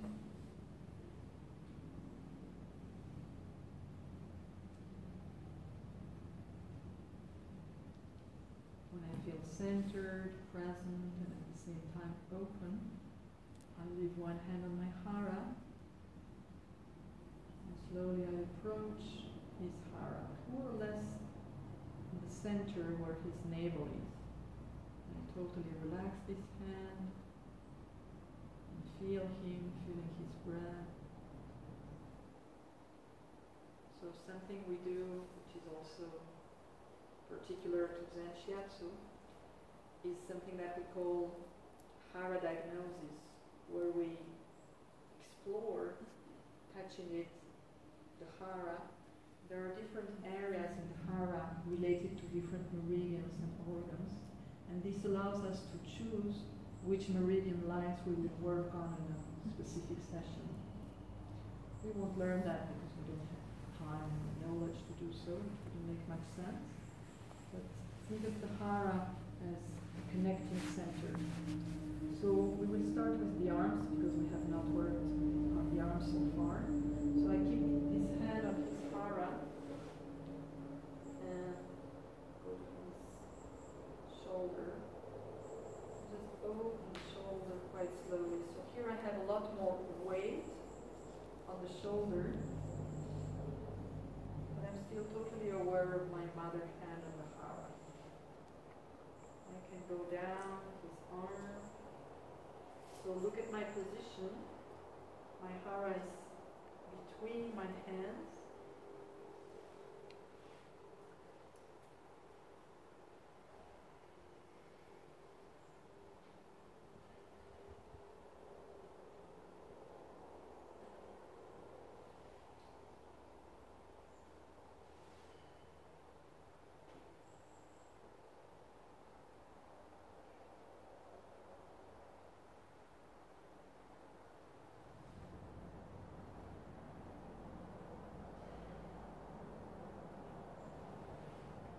all the way down to his palm.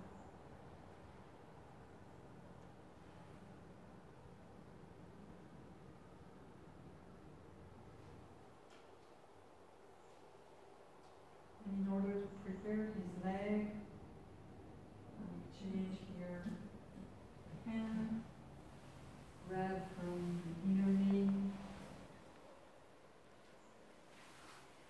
flex his knee, so with my shoulder against the knee and do this leg rotation, still with my hand on his arm.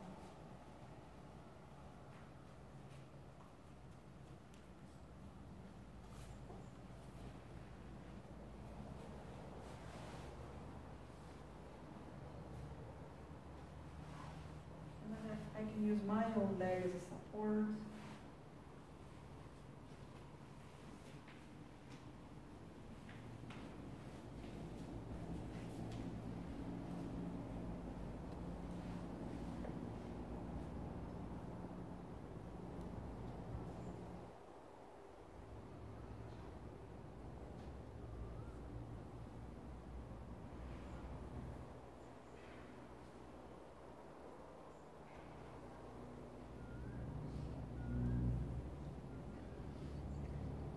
So here, the hand on the hara has to be very present, but not heavy.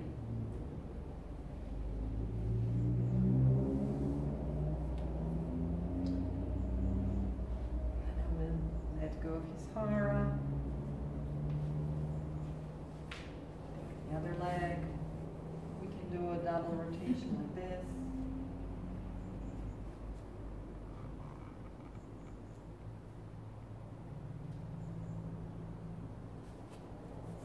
The opposite side of the feet.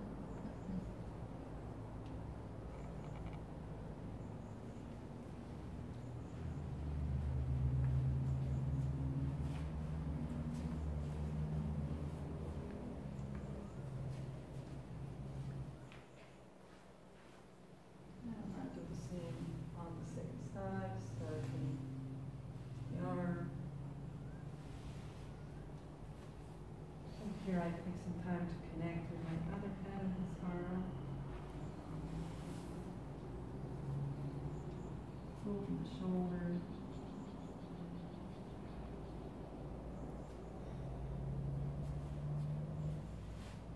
Pull down the arm.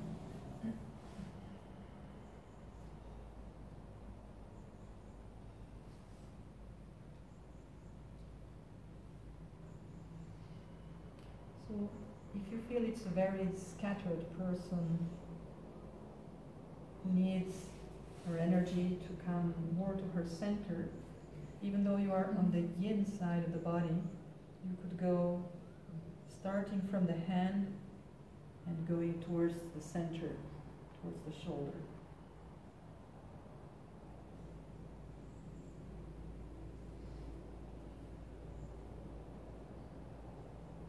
If it's somebody obsessed with Thai massage and Taekwondo, you can work this way.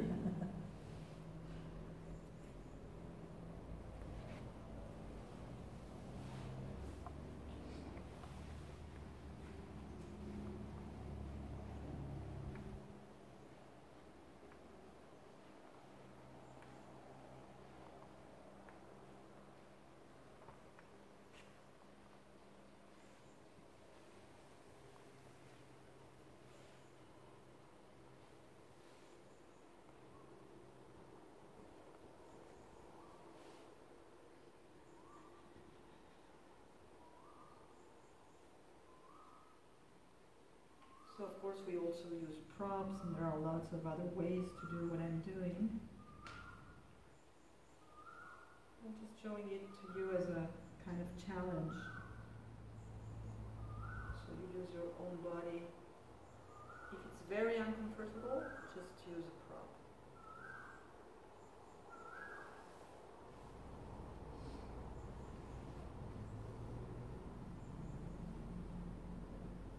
And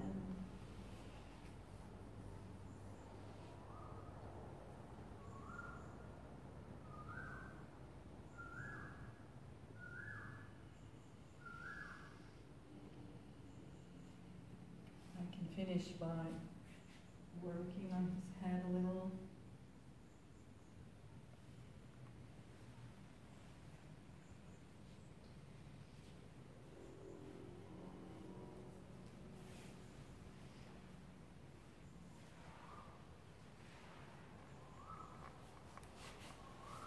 So thinking of what we did when we were with the receiver lying on their stomach, the energy line that we worked in the leg and the center of the leg starts actually here.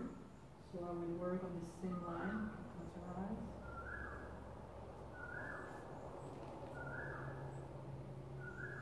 Very relaxed thumbs. And the pressure is like towards myself. And then keeping more or less the same distance that exists between the eyes. Along the same line. Which is called the bladder meridian, as I was telling you, and it's related, among other things, to the nervous system.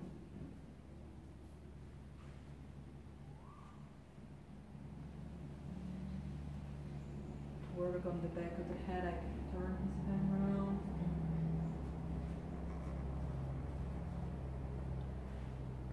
around. The neck.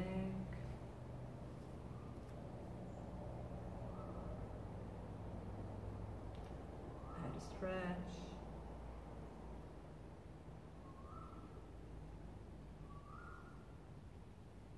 Same on the second side.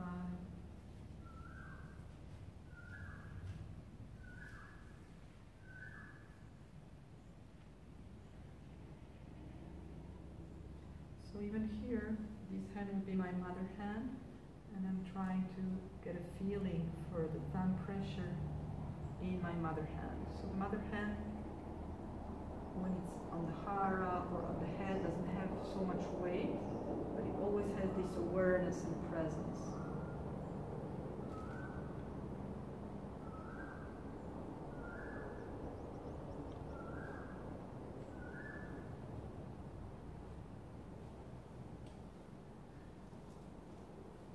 And then to finish, I go again to his hara. So the way we move in shiatsu is actually, I think, taken from martial arts.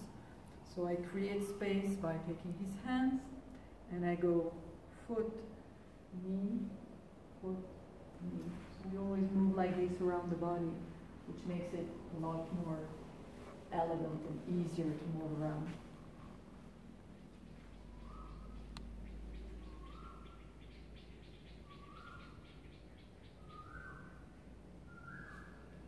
just to repeat what I did, I opened the shoulder, went all the way down the arm. After doing this side arm, I switched to the leg. So for the leg, I switched my hand here, took his knee, did some rotation, left the leg like this on my leg, worked from the foot up. Then I did like a double rotation to go to the other side. And on the other side, I repeated the same sequence, and then I finished with the head. If you want to add or forget anything, you're free. I mean, it's just an exploration. Today is not like you're going to learn shiatsu in three hours. Just invented it, as Kenneth would say.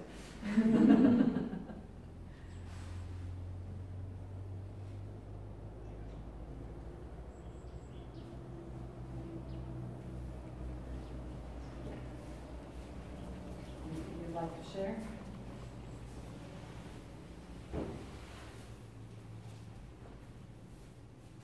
What is difficult with the slow movement, I feel like everything is moving as, as well as you, at the same time.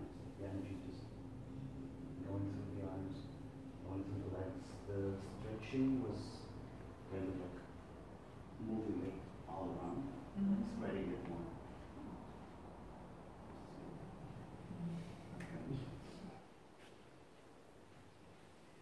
Okay, so back to the mats.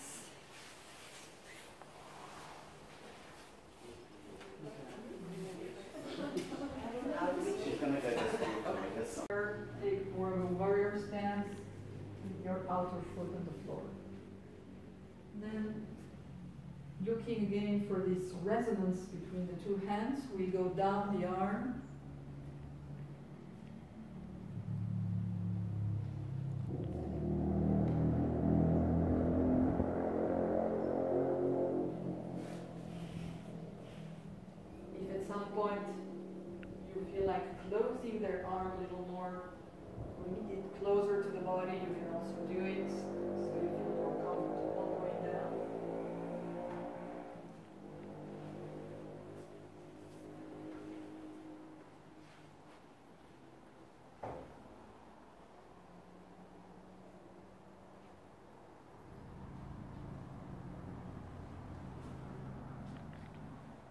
try to find the right amount of presence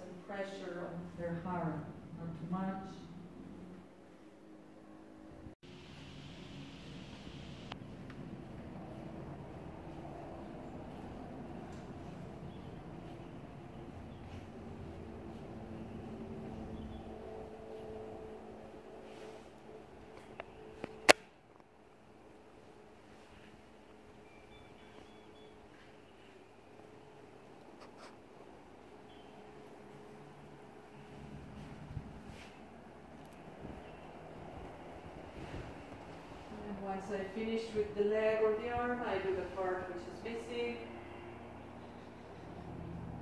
Either leg or arm.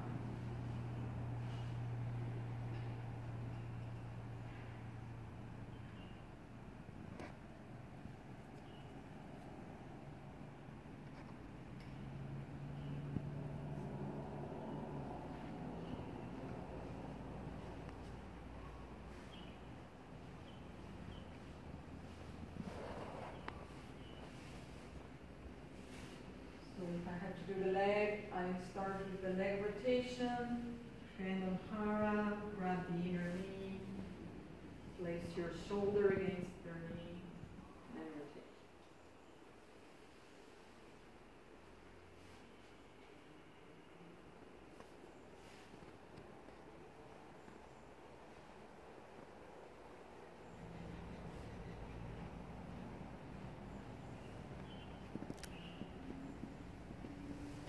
And if I finish with the leg, I just switch the hand on the hara, start at the shoulder and go down their arm all the way to the palm.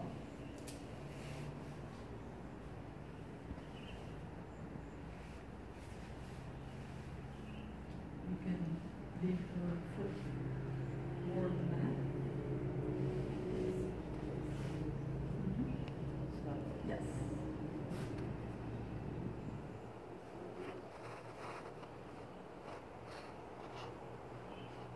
Feel that your hand on the hara is very present without too much pressure. So they can still breathe, don't feel pain, feel connection.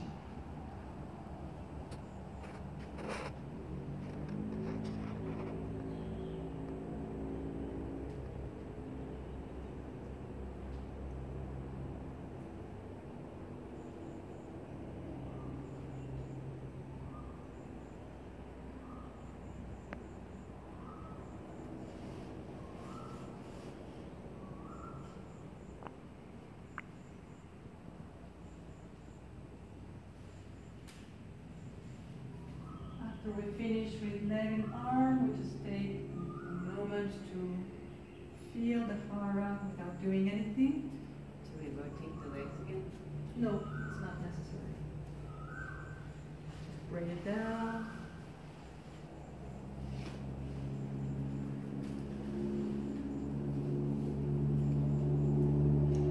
And then we will go behind the head. Maybe you know me, but I'll show you the way. Here. Take this. Up, let go of this hand. Out of foot. Here. Change the hand here. Foot. And you come.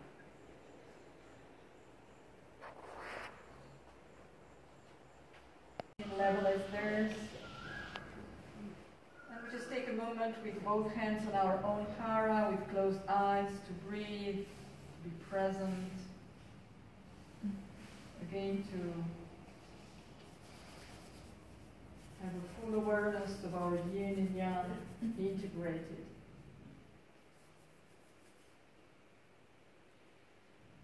And we're ready, we bring one hand over their hara and very slowly approach it. When my hand is on her hara, I relax it and I feel her breath, her energy. I'm in a sacred energy center. So I approach it with a lot of respect, a lot of care. Opening my eyes, I can scan his body, look from feet to head. Remember what I'm going to work on, which is the yin side of the body. Working in the arms from the center towards the palm and in the legs from the foot towards the heart. So when I'm ready, I take a little more distance with my knees away from her body and I bring my free hand to her shoulder and with high hips so I can give her more pressure. I lean on her shoulder. The hand of the hara has some weight, but I try to keep it so that it's a nice and cozy weight, not too much. And then we go slowly down her arm, trying to feel the connection in each pressure between both hands.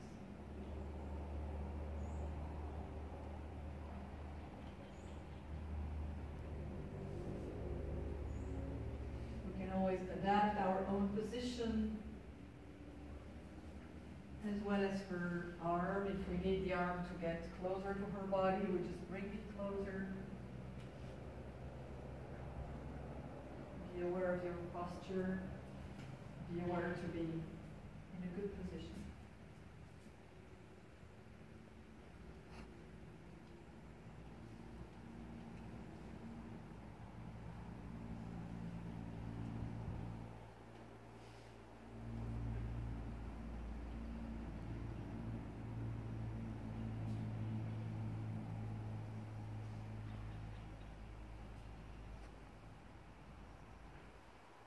I go all the way down his palm. When we're done with this leg, as a transition, we will do a double leg rotation.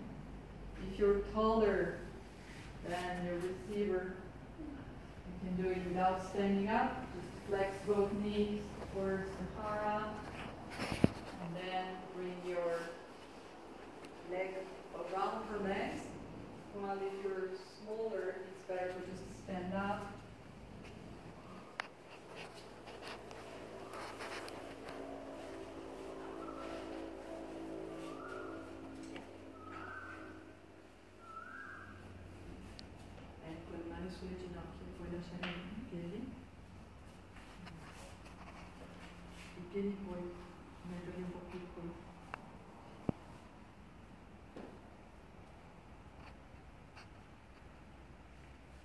Once who are not standing up, you can just switch sides, go to the other side and repeat on your other side.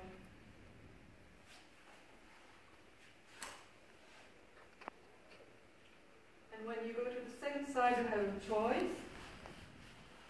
You just bring the leg that you already worked on to the mat, and you can either continue with the other leg or go to the other arm, as you prefer.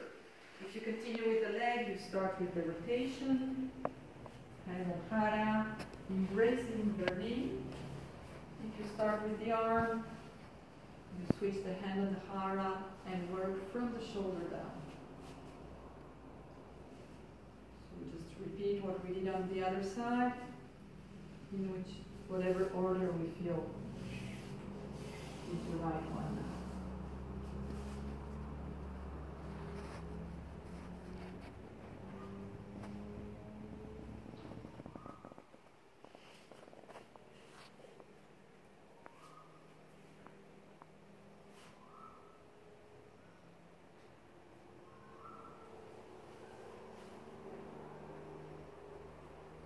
Use gravity, use your body weight.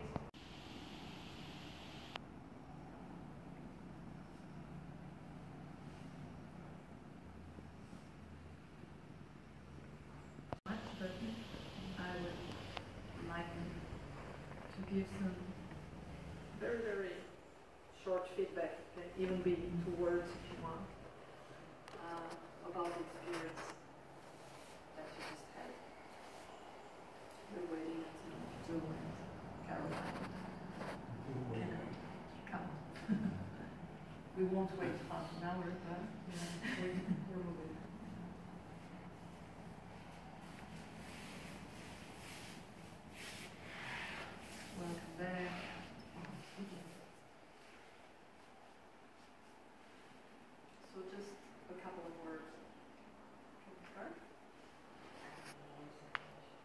que isso aí, Fred? Minhas plumas.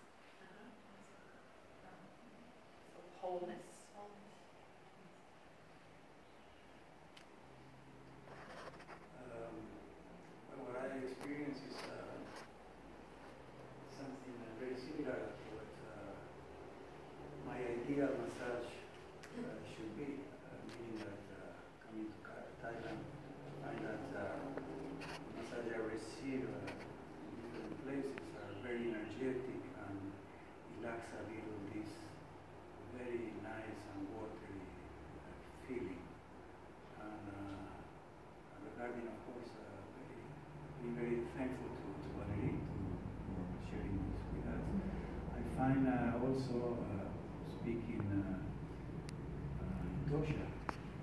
That I find that it's a, it's a perfect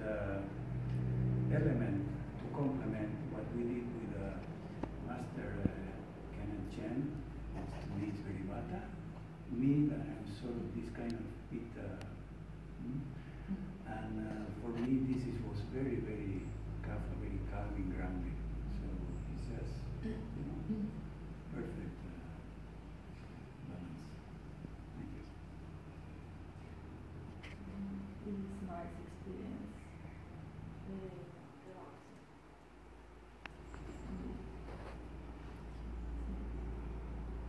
Um, but what is it? More calm- it was, uh, calming and the, the flow, it's just the flow of energy going on. It's very relaxing, very calming.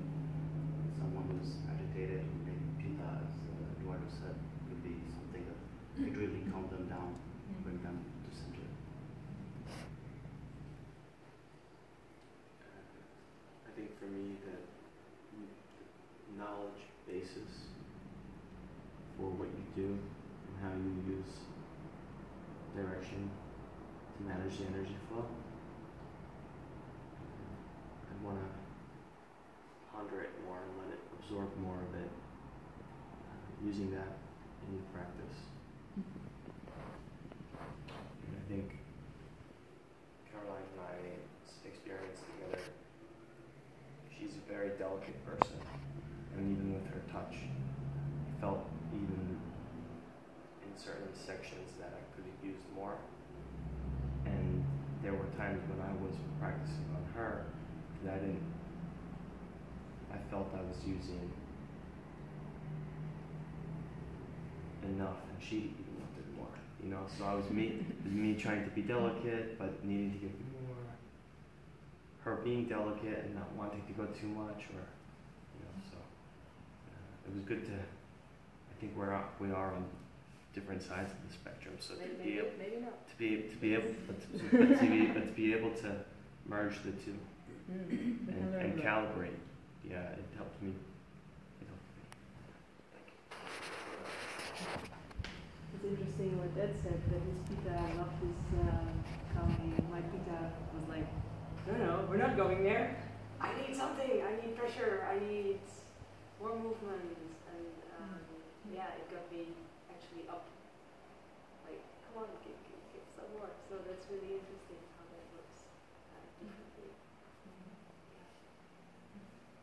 Thank you for sharing. Um, it was really relaxing for me and experiencing like feeling energy was new. I'm gonna learn more. I think of course it's very zen. Beginner's mind, zen mind. I think the mentality or the philosophy of that approach is very evident and how it manifests um, between the practitioner and the recipient. And I believe, uh, you know, for me at least, it led me, I'm very pitta vata, so it calmed me down a lot. And I felt like I was in a theta stage of healing, where I was coming in and out, not really asleep, not really awake, aware, almost dreaming but not. And so I experienced, you know, really the two du- dualities of being uh, aware, awake, but not really. So it was a positive experience. Thank you for sharing your expertise.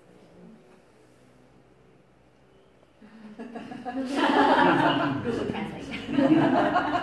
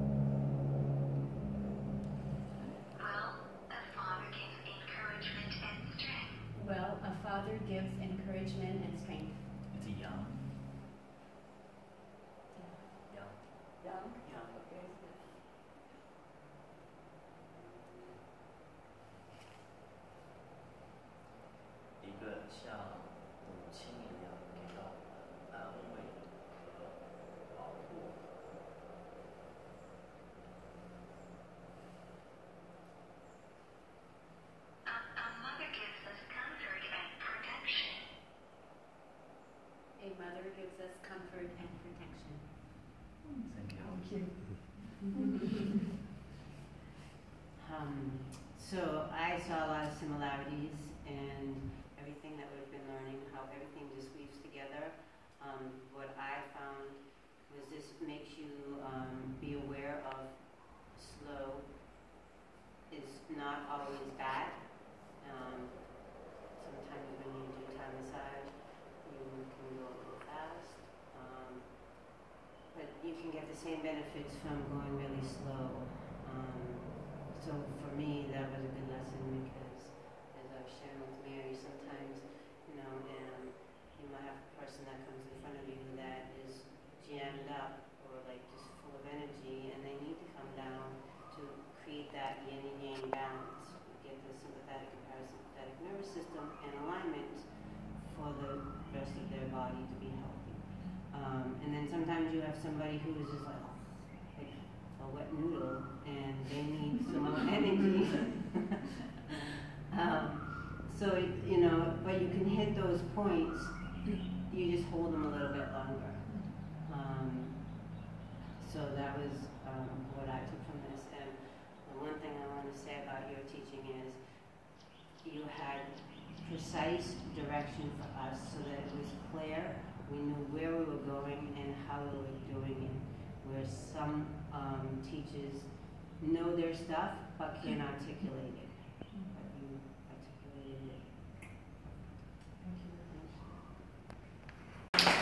We're gonna reconvene at two for Kenneth, and then tonight.